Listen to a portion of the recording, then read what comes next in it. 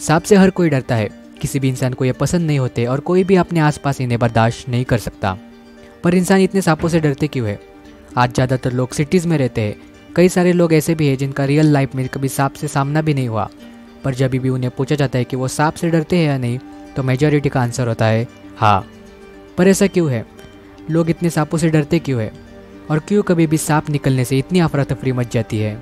इसका कारण है कि पहले लोग जंगलों में और गाँवों में रहते थे। उन्हें खाना ढूँढने के लिए, लकड़ियाँ लाने के लिए जंगल में जाना पड़ता था।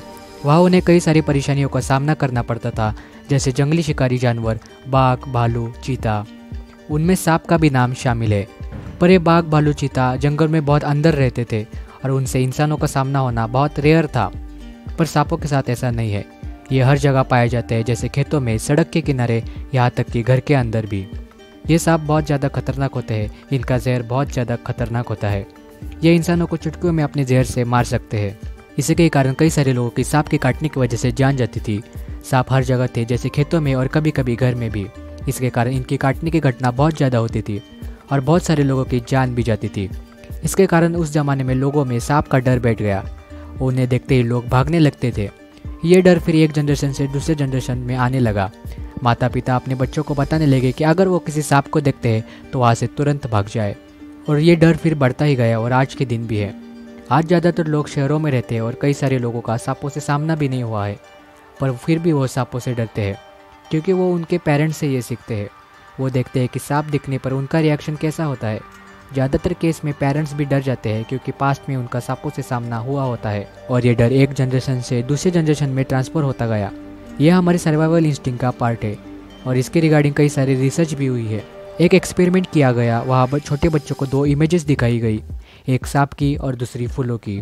और उनसे पूछा गया कि आपको किस इमेज से ज़्यादा डर लगता है? तो कई सारे बच्चों ने सांप की इमेजों की तरफ़ इशारा किया। ये इमेजेस बार बार बदली भी गई, जैसे सांप और कैक्टस जैसे सांप और मेंढक। पर हर बार बच्चों ने सांप की इमेजेस को ही डरावना बताया। इस एक्सपेरिमेंट से ऐसा पता चला कि यह डर एक जीन्स से दूसरे जीन्स में ट्रांसफ़र होता है। कई सारे छोटे बच्चे होते हैं जो सांपों से या फिर स्पाइडर से नहीं डरते और वो कभी कभी उन्हें पकड़ने भी चले जाते हैं। पर वही बच्चे बड़े होने के बाद उनसे डरने लगते हैं। ऐसा इसलिए क्योंकि वो अपने माँ बाप से ये सीखते हैं। वो जानबूझ के ऐसा नहीं सिखाते, पर वो खुद सांपों से डरते हैं। उन्हें देखकर उनके बच्चे भी उनसे डरने लगते हैं। अगर आपका सांप से कभी सामना नहीं हुआ है और आप फिर भी सांपों से डरते हैं तो इसमें कोई बड़ी बात नहीं है और उसमें आपकी कोई गलती नहीं है। ये ह्यूमंस का बेसिक सर्वाइवल इंस्टिंक्ट है। अभी सांपों की बात निकली है तो जान ही लेते हैं कि दुनिया के सबसे खतरनाक सांप कौन से है। दुनिया में हर साल एक लाख लोगों की मौत सांपों के काटने की वजह से होती है। दुनिया के सबसे खतरनाक सांपों में पाँचवें नंबर पर है रेटल स्नेक। ये सांप रेगिस्तान में पाया जाता है। ये सांप सबसे गुस्सेल सांपों में से एक है। इस सांप में होमोटॉक्सिक जहर होता है। ये जहर नर्वस सिस्टम और टिश्यूज पर हमला करता है, जिसके कारण इंसान की मौत हो जाती है। इसके पूछ पर रैटल होता है। जब ये इसे हिलाता है, तब घुंघरू जैसी आवाज़ निकलती है। इसीलिए इसे रैटल स्नेक भी कहा जाता है। चौथे नंबर पर है ब्लैक माम्बा। ये सांप पूरे अफ्रीका में पाया जाता है। ये सांप बहुत ज़्यादा खतरनाक है। ये सांप दुनिया में सबसे तेज़ सांप है। ये खतरा महसूस होने पर ही काटते हैं। अगर ब्लैक माम्बा को खतरा महसूस होता है तो ये 10 से 12 बार काटता है। इस सांप का एक एम जहर ही किसी भी इंसान को मारने के लिए काफ़ी है। ब्लैक माम्बा में न्यूरोटॉक्सिक जहर होता है। इसके काटने से 30 मिनट के अंदर ही मौत हो जाती है।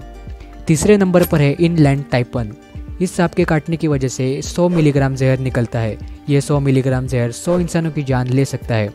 किसी इंसान को अगर ये सांप काटता है तो उसकी एक घंटे के अंदर ही मौत हो जाती है। दूसरे नंबर पर है टाइगर स्नेक। ये सांप ऑस्ट्रेलिया में पाया जाता है। इस सांप के काटने पर इसका जहर नर्वस सिस्टम पर असर करता है, जिसके कारण इंसान पैरालाइज हो जाता है और इंसान की मौत हो जाती है।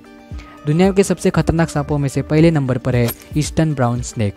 ये सांप दुनिया का सबसे खतरनाक सांप है और ये खतरा महसूस होने पर ही काटता है। अगर इस सांप को खतरा महसूस होता है तो ये पीछा करके भी काटता है। इसका जहर बहुत ज़्यादा खतरनाक होता है। इस सांप के काटने की वजह से पाँच मिनट के अंदर ही इंसान की मौत हो जाती है। तो आशा करते हैं आपको इस वीडियो से कोई नई जानकारी मिली होगी। मिलते हैं अगले वीडियो में किसी नए टॉपिक के साथ।